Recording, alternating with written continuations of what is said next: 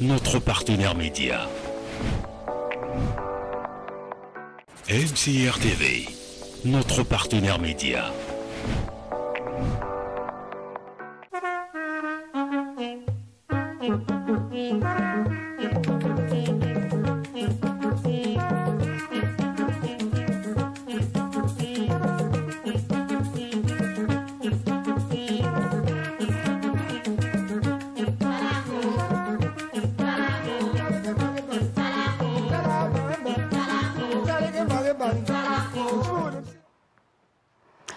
kokila yango te na beno mesola kolanda zurna na beto na mbembo ya kituba nsango na lukufi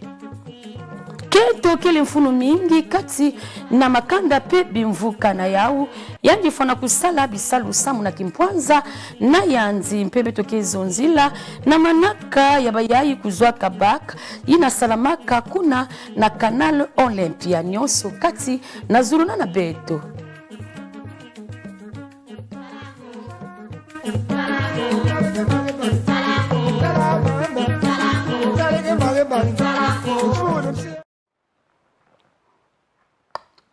mbala mosi diaka bambote be tokebanda bansango na be to mutindu mbe kozonza yawu na ntonono be tokezonzela na nzangululu ya bakentoi na kele mfunu mingi kati na makanda samu yanzi kele mubakisi ya nene na kati na makanda mpe ya bimvuka tete biza kele na kubangola samu na jambo yaye bakintu mpe bantwenye ya insi ya Kongo mekuma na mayindu mpe na ndwenga ya kupusana na kutala kwanzi bayankaka kele na kukotoswa na kati ya bimvuka samu na mfungululu ya ndwenga pe kususa kusala bisalu ina kepesa bau muswa ya kuzwa mbongo ya kudikisa pe kuyindula banzutu na bau mambo ya kuzanguka ina ya bakintu yakele yakele mbote nkentuifu yanzanguka nizaba bamambu yanzaba bisalu yanzaba kusala quelque chose pokoyenda aporte osi na kati ya ye nzoba me ifo ke kento zaba ke kento ke osi na mishiku ya yanji epo parceke ke bubi ya ngeme zaba ngeme zanguka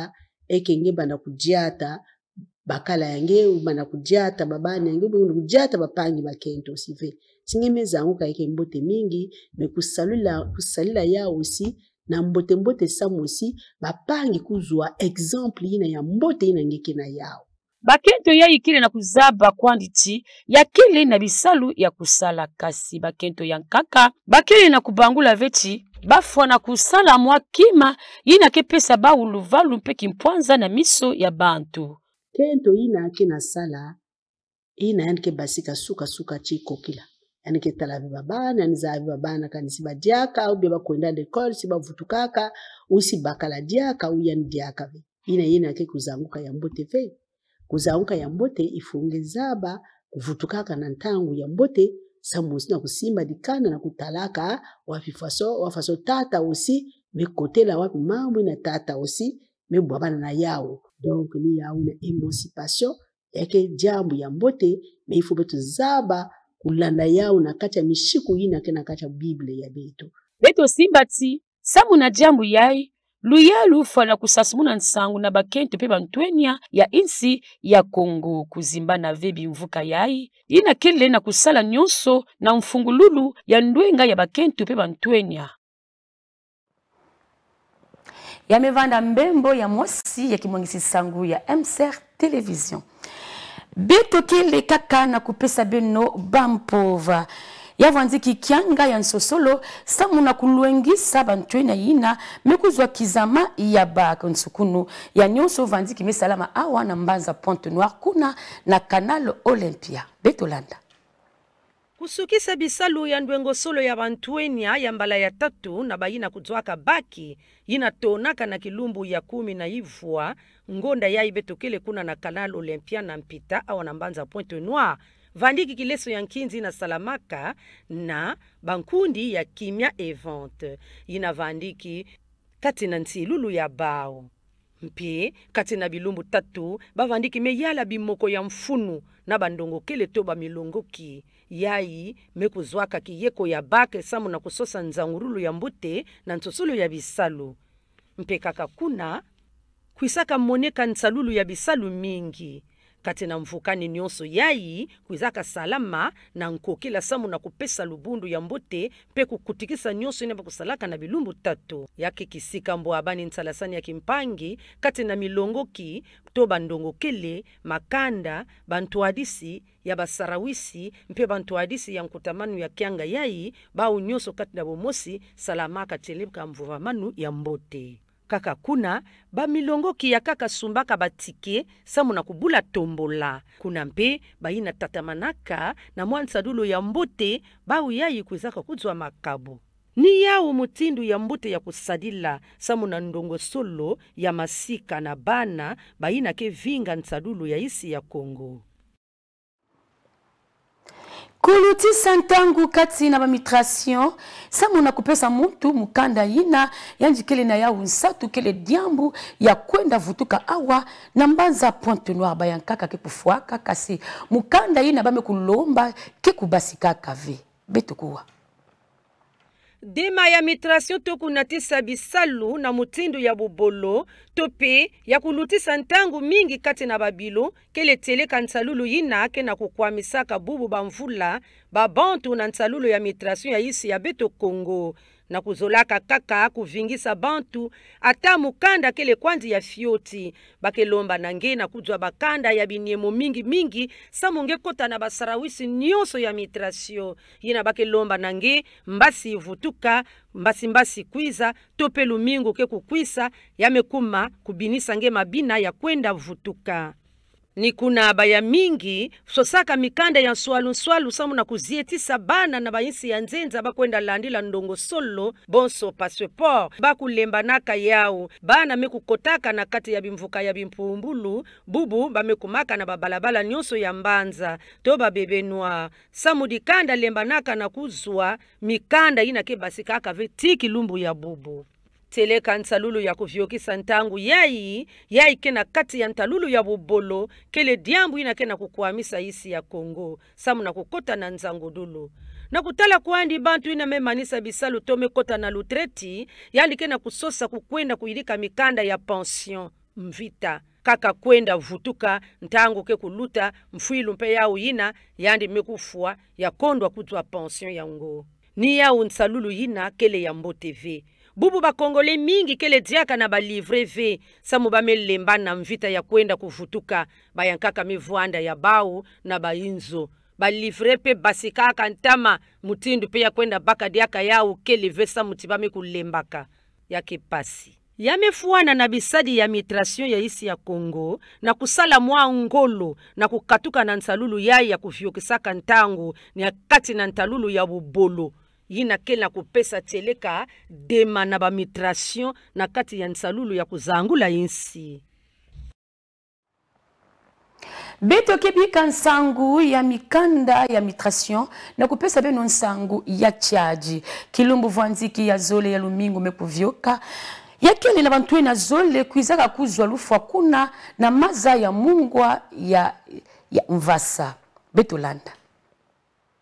yai ni kisika ya lukwelo ya kufuluka na dielo ya kitoko ya vasa yina kele ntama mingi ve na kala ti nguyo ya kitanda ya sambanu kisika yai ya vasa yai ki na dielo ya kitoko mpe maza ki na kutala na mutindu kitoko kele kisika ya imbi samu yake epesaka bamfwilu mingi na ye na metala kudiama to kuyambuka na maza nikisika yai kilumbu vuandiki ya zole ya lumingu ya makumi zole ya ngonda betu kele kuizaka bakama mfwilu ya bantweni ya zole ya mvimba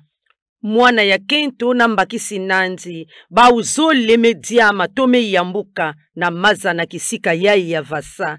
yai kele kisika ya mbo tv bakatwana matwalu kwa kuna zulu kwa kuna njila nene bakuiza bauzole ketu na bakala bagare kivelo au mama chicha kote bouteille kele bagare ki velo kuna après babaka babilila bao basako neti basaka mage fana bana tisaka mani mamage fana na bao bakwena mitona na kwa kuna kote bayambukila isamize laba velo kugare kwako metuna mumusala tu na kukwenu na inzo na zula etage apo mpamuko baba tena bulamu na telenge mutu zabu zamu nashi kuiste tembango baba tumeja muluto muna kukweza jamii sonse bakali meyambuka me moko ala fera kana kutalana me ya baya kento to yambuka metono le tomna la tena ko ba ko planche musuza kubanje kumaja po musuza kubaki ali mtono make vaga nene kuza mtono ya muangisa betu yani mko ela kaka mune sumusa kutuve ela kaka yake fana tuvo suvo banje la site pake meme mfaso tike fanya da kwa kuna kache ya meme plus meme de ya meme fam de so melunga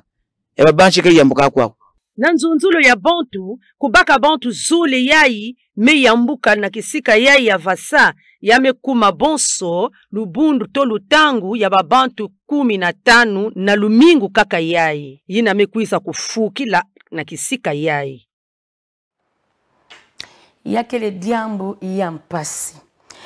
mbe tokele kaka kuna na kitanda ya sambano ya ngoyo na kopesa bino bansangu ya ngoyo la plaine kusabuka nzila kuna na ngoyo la plaine kele diambu ya mpasi kuna kele na mwa mazali na bizingi kesabukaka na babwatu samuti kuna yame kokondwa bakiamvu na kisika yaye tete biza na tansangu ya tilika kukatuka na ngoyola plaine sambo na kubasika na bisika ya nkakankaka mutindo na lopitalu ya nene ya patra kisalamaka nzungani musi ya nene mutindu nti e tolo sambo na kulandila kitini ya inda kundwa ya mwakianvu ni ina kepesaka bau mpasi na kutala minkua musu nyonso yayi bizingi imekutikisaka mayela pe mangolo samu na kusabu kaka na bwatu bwatu ina bakilutisaka bantu suka ati kokila yake bandaka bisalu na ngunga ya sambanu ya sukasuka ti na ngunga ya makumi zole ya nkokila na bwatu yango bakifutaka mpata kumi yake liluba kusu ina kile na luvalu kaka na ntangu kasi kana kimbivu na katikati ya mpimpa kusadilaka wapi mutindu na kutala mpi nsabukulu ya bwatu kili na ntalulu ya makubu mingi na ntango ya bamvula ya nene citamale mvula keno kaka pasi na kukwenda lelo kote hmm. beso cina malaya tosala afaso tosa kukwenda afaso